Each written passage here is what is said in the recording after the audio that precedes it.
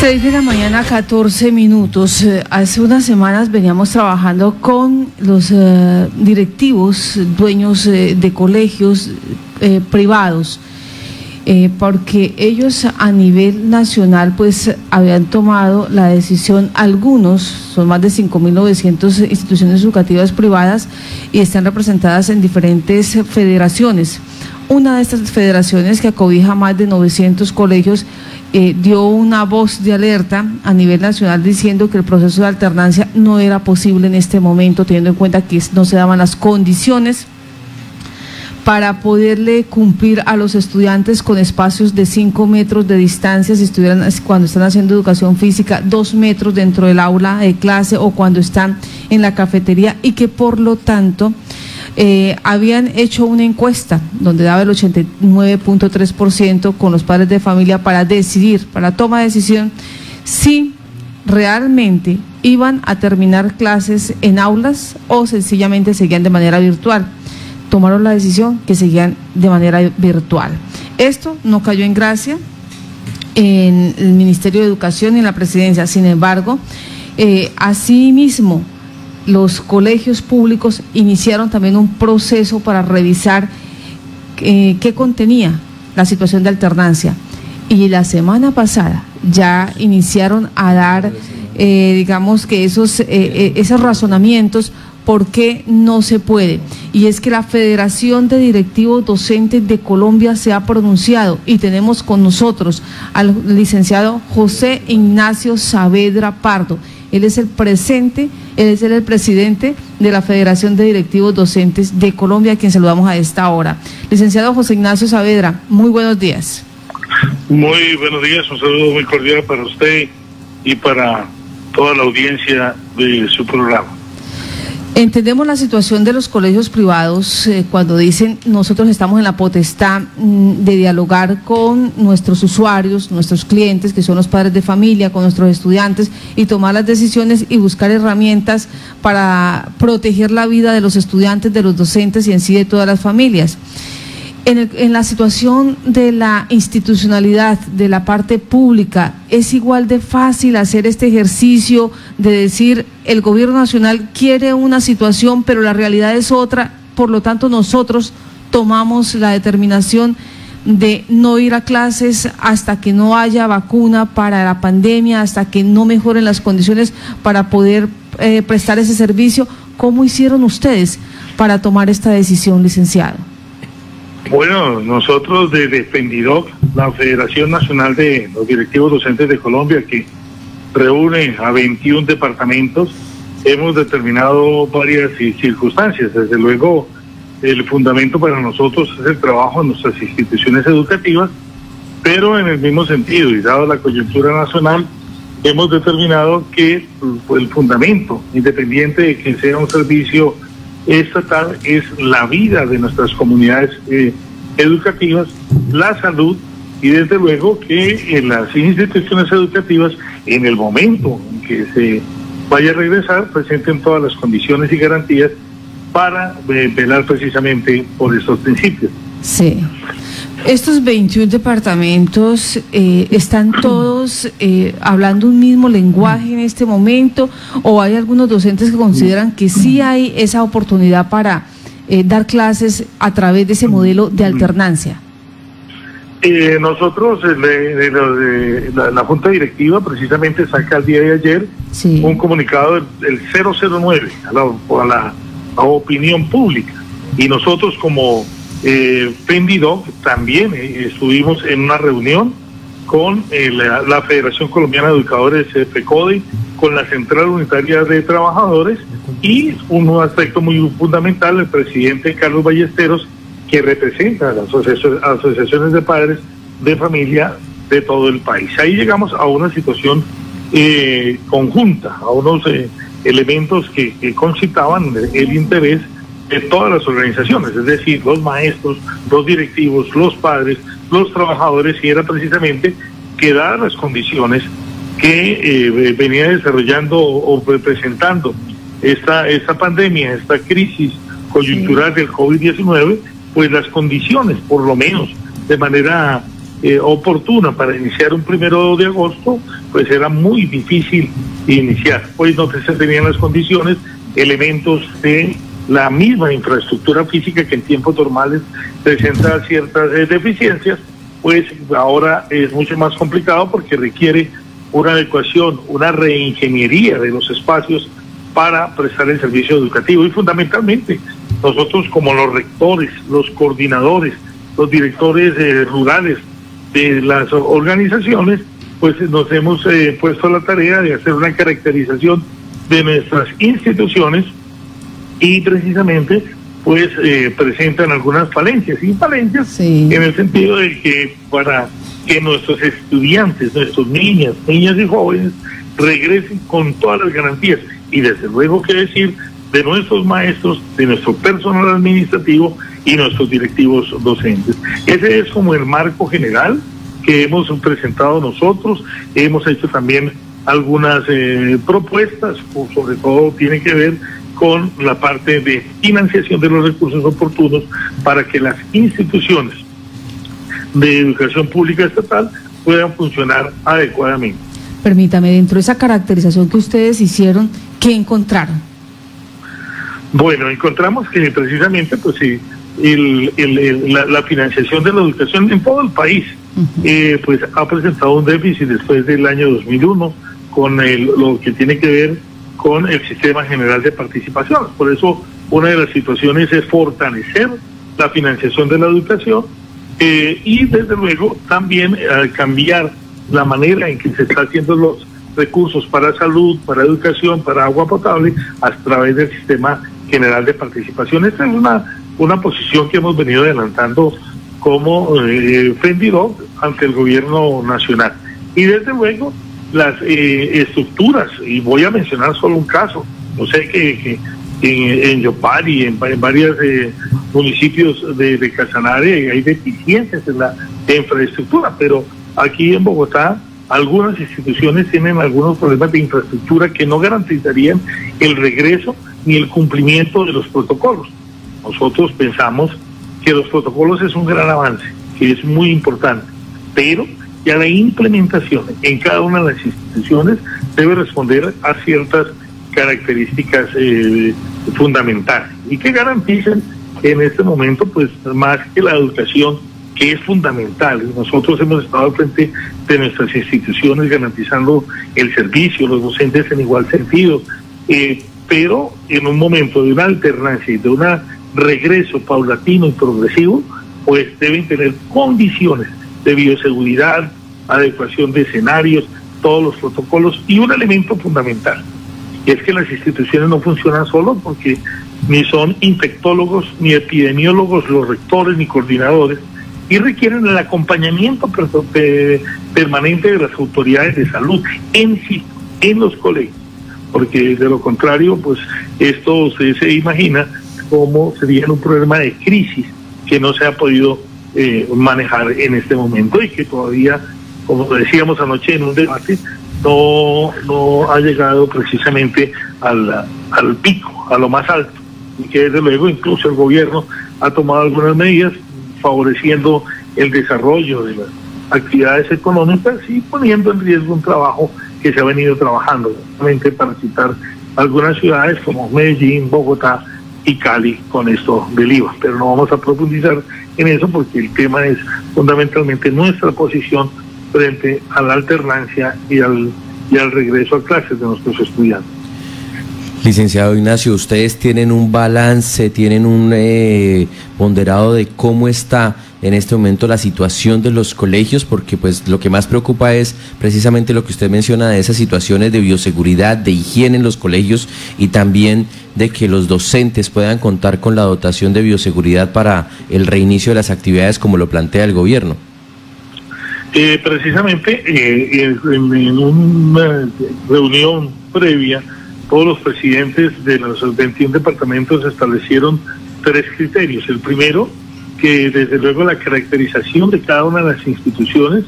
debe responder a unas especificaciones técnicas. Porque, por decir algo, hay varios, varias clasificaciones. Una cosa son las instituciones rurales con menos de 200 estudiantes, otras instituciones que son el promedio, que están más o menos entre los 850 y los 1500, y otras las instituciones que tienen más de 5000 estudiantes. Entonces, cada una requiere una caracterización especial solamente para regresar. Las infraestructuras de algunos de los colegios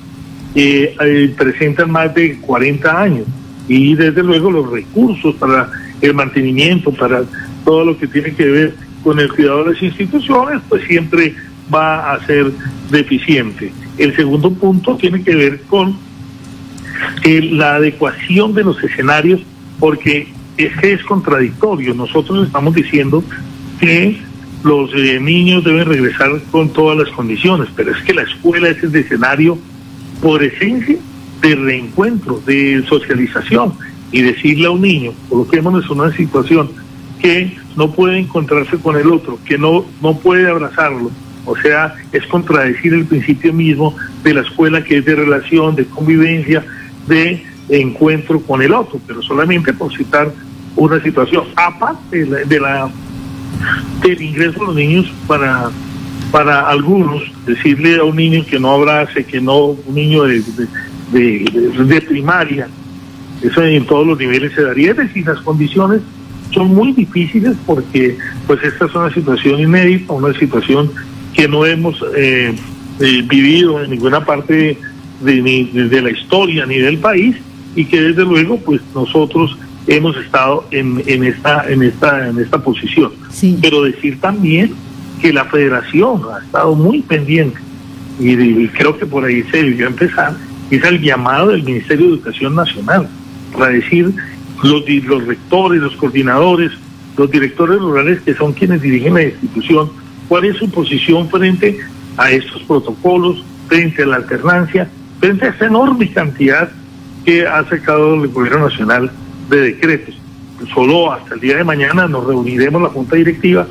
con la secretaria general del Ministerio y hemos tenido una relación fluida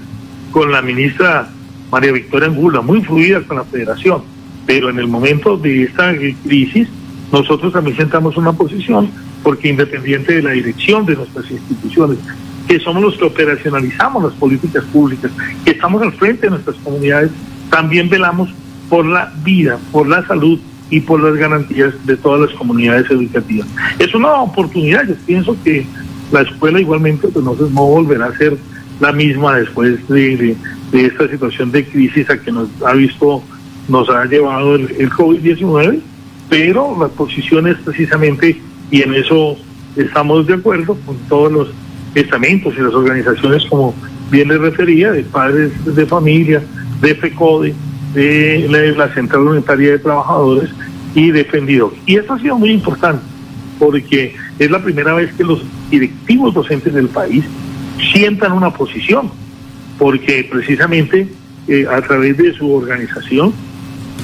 han sentado cuál es la, la condición y no solo de crítica, sino también cuáles deberían ser las condiciones para un regreso oportuno, como usted bien lo mencionaba. Y huelga decir, sobra decir, que los elementos de bioseguridad, todas las zonas de habituallamiento sanitario, todas las zonas aplicadas, pues deben tener unas condiciones extremas, porque así lo decimos nosotros, somos los primeros que queremos regresar. Pero si estén dadas las condiciones para que la seguridad de nuestros niños, niñas, jóvenes y toda la comunidad sea garantizada. Licenciado, teniendo en cuenta que el gobierno nacional ha sido bastante incumplido con las exigencias que han hecho durante todos estos años los profesores, los estudiantes, ¿considera usted que se puedan dar las condiciones necesarias o les puedan a ustedes, como se dice, coger el hilo de las, de las peticiones que están realizando ustedes? Pues nosotros consideramos y esperamos que por lo menos en la revisión de toda la parte que tiene que ver con infraestructura, con el giro de recursos. Es que tenemos un problema en algunas instituciones educativas donde los recursos tienen que llegar para funcionar desde enero y están llegando en mayo. Entonces usted se imaginará todo lo que tiene que sortear un rector para poder asumir la responsabilidad administrativa de un vídeo, de un baño, de alguna adecuación de, de, de una teja rota, etcétera, todo lo que se puede presentar. Lo segundo es que tampoco tenemos el personal básico para funcionar en todo el territorio nacional. La educación como un derecho debería tener todas las garantías de su, del, personal y esto pues desafortunadamente en algunas eh, regiones del país es muy difícil que llegue un reemplazo, que se nombre a tiempo toda la planta de personal, aun cuando se ha mejorado, y qué decir ahora, cuando tendríamos unas restricciones en la planta de personal. Y las restricciones tienen que ver con lo que ha planteado la directiva número 11, y es precisamente que los eh, que hay docentes que presentan unas eh, enfermedades preexistentes como la diabetes, enfermedades pulmonares que no pueden estar en las instituciones por la tendencia, por la proclividad a desarrollar el COVID-19. Y más aún, tenemos un alto número de, de docentes y directivos docentes en todo el territorio nacional que están por encima de los 60 años.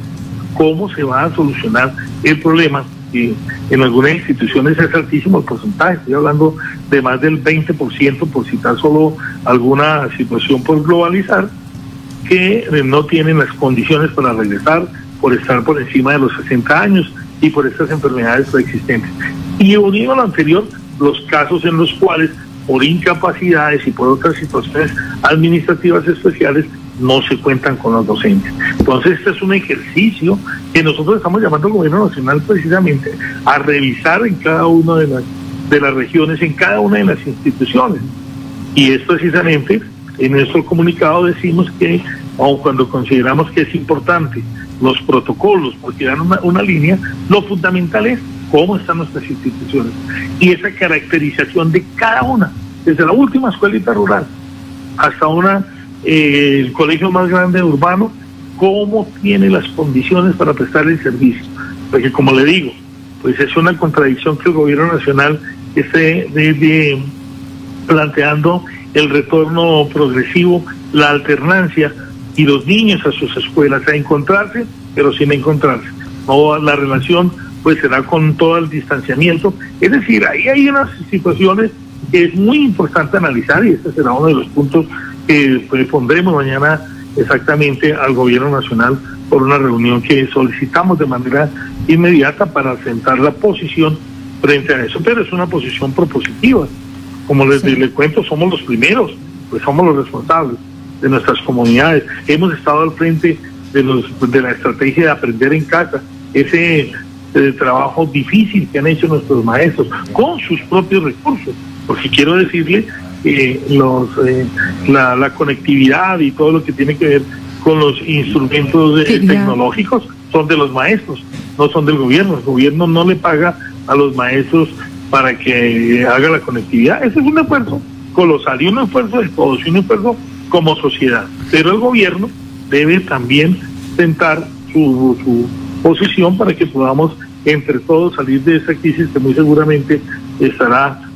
tendrá que ser lo mejor para no solamente para la escuela, pero, sino para la sociedad en general. Licenciado José Ignacio Saavedra, presidente de la Federación de Directivos Docentes de Colombia. Bueno, ustedes ya emitieron este comunicado, el 009, donde pues eh, explican por qué no vuelven a las aulas de clase, al menos lo que corresponde al resto de esta vigencia, eh, teniendo en cuenta la situación de la pandemia, de, la COVID-19 pero hay un fenómeno que me llama la atención. Esto lo, tienen ustedes, pero el gobierno nacional siempre ha mostrado eh, esa, ese mando, digámoslo así, eh, esa petición que los colegios oficiales deben regresar. ¿Qué va a suceder ahí? ¿Qué, han podido ustedes hablar con el gobierno nacional? ¿En qué tónica está en este momento? Más cuando acaban de, de aumentar 15 días más eh, la situación de, medidas preventivas que van hasta el 15 de julio. ¿Ha cambiado para ello la postura o siguen tan rígidos como cuando sacaron eh, el decreto diciendo que iba a haber clases presenciales a través del modelo de alternancia? Nosotros pensamos que en este momento es una, un ejemplo de lo que debe ser el diálogo, la concertación, los compromisos. El gobierno no puede sacar de manera unilateral decir que los maestros obligatoriamente, los directivos docentes, deben prestar el servicio a partir del primero de agosto. Eh, lo segundo, la, directiva pues da la flexibilidad para que se miren las condiciones y no exactamente tal vez eh, se, se, pensaría que, es una, una situación a partir del primero de agosto, pero allí lo que se dice también es que hay que mirar las condiciones, que es lo que nos hemos centrado nosotros. ¿Qué características tiene una comunidad educativa? No es lo mismo un municipio no COVID, por citar algo, a un municipio que tiene ya pues eh, bastantes casos. Las condiciones son diferentes. Nosotros estamos diciendo, sí, que la, la, eh, la posibilidad de que regresar, de la escuela necesariamente es la socialización. ¿Qué es lo que decimos? Es con las condiciones que garanticen la vida de nuestros estudiantes, de nuestros directivos docentes y desde luego de toda la comunidad. Y ese, ese, esta situación sería muy lamentable, pues eso ni siquiera lo hemos pensado, que el gobierno nacional impusiera, por eso en la directiva 11 dice un punto muy importante que lo destacamos en nuestro comunicado del día de ayer, es que eh, plantea la voluntariedad de los padres de llevar a sus hijos no es una obligación, no podría también el gobierno nacional obligar a los padres a que lleven a sus hijos a una situación que aparentemente los podría en una en un, en un peligro aparente por la salud pública que viene atravesando el país. Entonces allí también eh, es muy importante la vocería de los padres y precisamente nosotros en ese ejercicio juicioso nos reunimos con la mayor eh, eh, organización de los padres de familia que dirige el doctor Carlos Ballesteros y miramos la conveniencia. Es que nosotros en ningún momento, ni los padres, ni los maestros, ni los directivos docentes, estamos negados a, regresar a, nuestras instituciones. La razón de ser nuestra es en el trabajo en al frente de nuestras instituciones. Pero en esta coyuntura, esto no estaba, eh, eh, digamos, planeado en, ninguna parte y por ello nosotros también hemos defendido, hemos fortalecido. Todos los días tenemos que entregar informes del CIMAR, de las matrículas, tenemos que entregar informes de la alimentación escolar, tenemos que, eh, de la estrategia de aprender en casa. Es decir, hemos estado al frente, pero consideramos que esta alternancia debe ser rigurosa y que nos parece un poco apresurada, apresurada la orientación de fijar postura, por lo menos en los meses subsiguientes. Hoy leíamos el informe de la Organización Mundial de la Salud que plantea para Colombia su pico iniciando agosto. Entonces, eso sería también otra contradicción, porque no sé, aunque no somos epidemiólogos, eh, eh, digo, pero sí es menester tener esa información y, para tener los criterios de, de actuación y nosotros hemos conocido en el departamento de Casanare frente a nuestra organización un trabajo muy juicioso que hicieron sobre la cómo se ha venido desarrollando el, el virus, cómo ha venido afectando a la población, cuál ha sido potencialmente la, la, la proyección que se podría hacer. El compañero observando precisamente allí en el departamento de Casanare entregó un informe a la Junta muy, muy juicioso. Es decir, en todas las regiones del país estamos no solamente decir no, estamos diciendo no, pero por todas las situaciones, apoyados los informes de salud, apoyados la realidad de nuestras comunidades y apoyados el consenso que da la, la Junta Nacional con los 21 departamentos que hacen parte defendidos. Y como le digo, pues siempre esto no es un esto no es un paro, no es una situación de que nos abroguemos una situación que no sea con base en las los eh, todo lo que ha, venido emanando jurídicamente, que por cierto, 102 normas que no se alcanzan a digerir, también tiene su, su contraprestación allí en la situación. Pero fundamentalmente, lo que tiene que ver con educación, con lo que tiene que ver con los directivos docentes, estos lineamientos para la prestación del servicio de educación, pensamos que son importantes, pero su implementación, su financiación, es lo que nosotros consideramos que es necesario discutir, no solamente con el gobierno nacional, sino con los gobiernos municipales para, para establecer esa posibilidad de que regresemos seguros a nuestras instituciones educativas. Pues licenciado José Ignacio Saavedra Pardo, presidente de la Federación de Directivos Docentes de Colombia, nos queda claro entonces aquí en el territorio casanareño que ustedes han tomado esta decisión de la mano de los padres de familia también de no regresar a clases mientras no haya ese, esas garantías eh, para contrarrestar la situación de la COVID-19 y más cuando no se ha presentado en el país el pico de la pandemia y el aplanamiento de la curva que genera eh, zozobra y donde todos los días se están conociendo casos nuevos. Ya, por ejemplo, anoche nos decían que para el departamento de Casanare tenemos un caso más, ya llegamos a 58 casos y así de manera cotidiana. Me hace una aclaración aquí Gustavo, el gatico y yo, me dice, pero es que esos municipios no COVID tienen el riesgo, el riesgo latente eh, de manera diaria de que aparezca un caso. Por ejemplo, aquí no había en, el municipio de Maní, hace dos o tres días ya apareció el primer caso en el municipio de Maní. Y si el virus pues se sigue esparciendo, sencillamente eh, más temprano que tarde va a llegar en todas las localidades y a todas las personas. Licenciado,